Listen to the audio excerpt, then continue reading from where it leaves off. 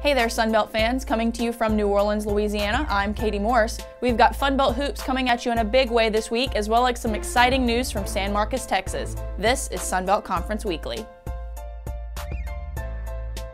Arkansas State men's and women's hoops are off to one of the best collective starts in school history as both teams sit undefeated in league play. Let's take a look at what's heating up in Red Wolf country. Arkansas State men's and women's basketball are both 4-0 in conference play after both squads defeated Louisiana Lafayette in a doubleheader on Saturday. The men's team overcame a 20-point run by UL Lafayette and defeated the Cajuns 71-69. Everything that could have gone against us the first eight minutes of the second half, missed layups, missed open jump shots, missed two free throws, uh, and then we made some plays. We started making some of those shots that we missed. Uh, we just made some plays, and that's what, what teams do. Junior guard Devin Carter led the Red Wolves with 25 points and 8 rebounds, while junior guard Dante Thomas tallied 20 points.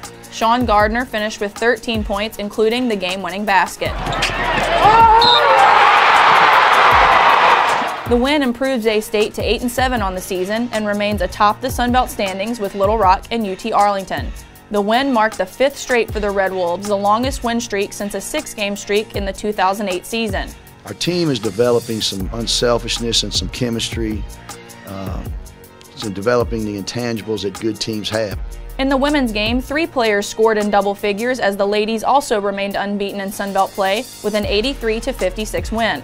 And one player's performance earned her a weekly nod from the Fun Belt as senior forward Kadeja Brown Haywood is your Sunbelt Student Athlete of the Week.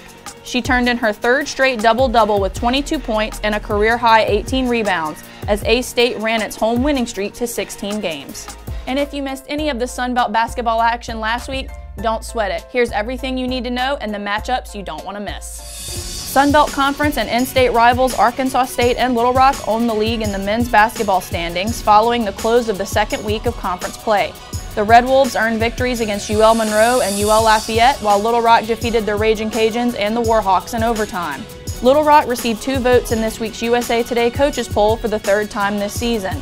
The Trojans are a perfect 6-0 at home on the season and are tied for the national lead with seven true road wins, making it the best start in program history at 14-1. Georgia State stayed within a game of first place as redshirt junior Jeremy Hollowell, the men's basketball student athlete of the week, led the Panthers to back-to-back -back wins.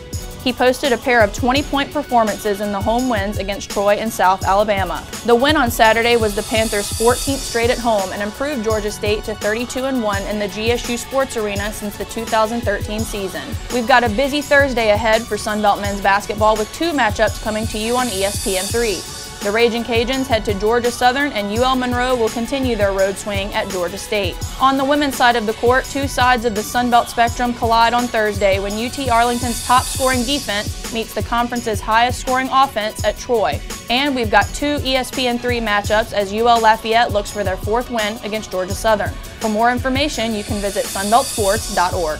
Arkansas State cornerback Rocky Hayes is attending the 2016 College Gridiron Showcase. Let's take a look at one of 2015's most impactful players. Former Arkansas State and All Sun Belt Conference cornerback Rocky Hayes is currently attending the 2016 College Gridiron Showcase in Bedford, Texas, and is set to conclude his time at the three-day event on Wednesday with a scrimmage against other top college seniors from around the country. The College Gridiron Showcase provides exposure and education for top seniors, Hayes, selected by a panel of experts, is among a group of players participating who are receiving professional coaching, mentoring, and classroom-style education. Hayes will participate in the scrimmage at Pennington Field, showcasing his skills in front of scouts and executives from top professional leagues, such as the NFL, CFL, and AFL. Hayes earned first-team All-Sunbelt Conference recognition following his senior season that saw him post 52 tackles and 6 interceptions which tied the second most in the league. The College Gridiron Showcase is being held for the second consecutive year. A total of 81% of participating athletes received opportunities in the NFL. Big news out of San Marcos, Texas, as the Texas State Bobcats introduced Everett Withers as their new head football coach. Let's take a look. Texas State University introduced Everett Withers as the school's 16th head football coach. Withers comes to Texas State after compiling a 25 and 13 career record and guiding his teams to two NCAA Division I FCS playoff appearances and a berth in the 2011 Independence Bowl in his three years as a head coach. During the past two years, he led James Madison to a combined 18 and 7 overall record, including a combined 12 and 4 record in the Colonial Athletic Association. I heard one statement uh, a lot in that interview, and it came from our president. It said, I want to win the Sun Belt.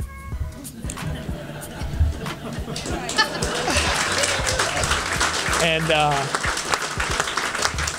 I think I looked back at her and I said, I want to win it too. Under Withers, the Dukes won a share of the CAA championship in 2015, the school's first conference title since 2008. Withers became head coach at JMU after coaching stints at Ohio State, North Carolina, Minnesota, Texas, Louisville, Southern Miss, and Tulane. He also spent seven years in the NFL, coaching six seasons with the Tennessee Titans and one with the New Orleans Saints. A native of Charlotte, North Carolina, Withers was a four-year letterman as a defensive back at Appalachian State. He served as team captain in 1984. He and his wife Kara have a daughter Tia and a son Pierce. We're at a pivotal time in, in the program. I, I think it's I think it's right at a, at a time where we can take it up a notch. Uh, but we've got to start now, and uh, we've got to uh, go to work really fast. And that'll just about do it for this edition of Sunbelt Conference Weekly. Be sure to join the conversation on social media and follow the Sunbelt on Twitter, Instagram, and Facebook. For all of us here in New Orleans, Louisiana, I'm your host, Kati Morse. Thanks for watching.